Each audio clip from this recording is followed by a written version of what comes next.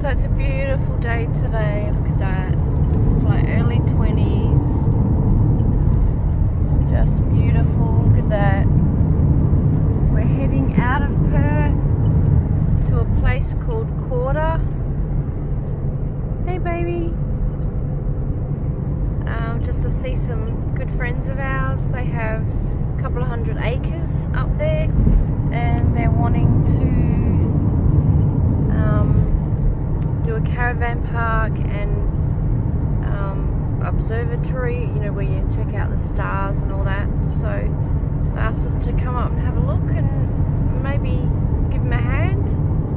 Sounds all very interesting. So this is like oh, three and a half hours, I think, from Perth. Kind of go up to Lancelin way and then inland. Inland from Lancelin. It's inland from Lancelin, just to give you an idea. So uh, yeah, we're looking for a nice pie shop because we're both feeling a bit peckish.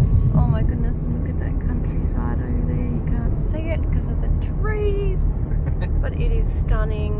All the canola fields will be out. Just beautiful. Heading towards Toodyay at the moment. And all this is the Avon Valley.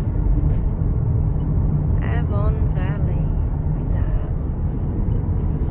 Just passing Noble Falls.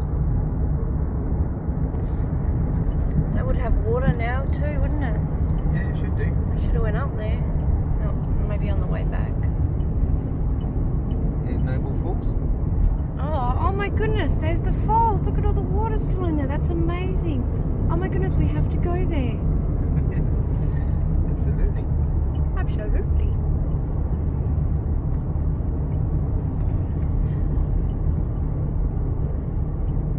So we just started watching The Boys on DVD. OMG. Talk about jaw dropper.